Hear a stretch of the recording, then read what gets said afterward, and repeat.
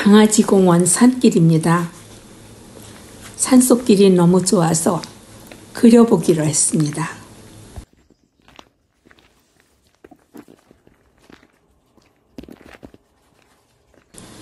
나무숲 그리는 게 정말 어려웠습니다. 여러 날 걸렸어요.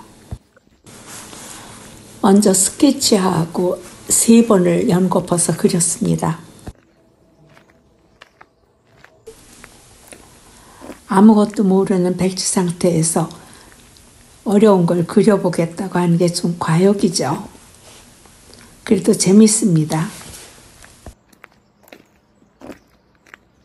요즘은 매일 열심히 아크릴 그림 영상을 찾아보고 있습니다.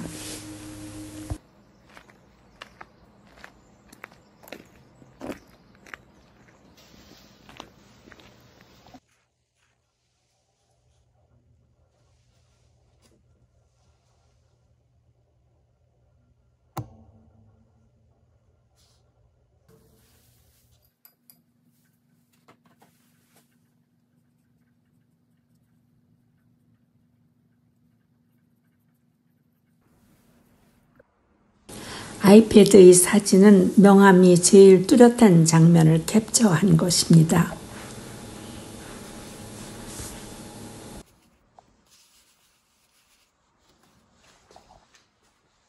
우리 맥스 그림은 두 번째 게 제일 잘 된 것 같아요.